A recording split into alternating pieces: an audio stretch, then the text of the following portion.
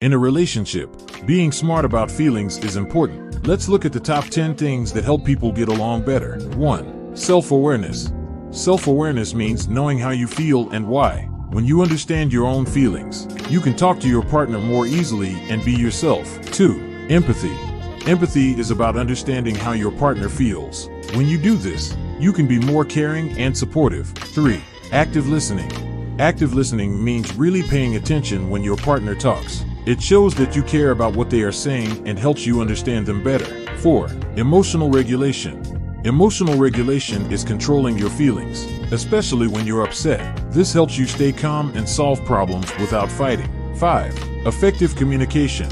Effective communication means saying what you think and feel clearly. It also means listening to your partner so you both understand each other. 6. Conflict resolution. Conflict resolution is about working together to solve disagreements. It helps you find answers that work for both of you. 7. Adaptability. Adaptability is being okay with change. This helps you and your partner deal with new things and stay happy together. 8. Trust and reliability. Trust and reliability mean being honest and keeping promises. This makes both of you feel safe and secure in the relationship. 9. Boundaries.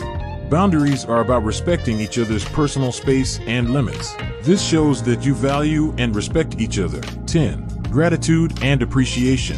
Gratitude and appreciation mean saying thank you and showing you care. This makes your relationship more positive and happy.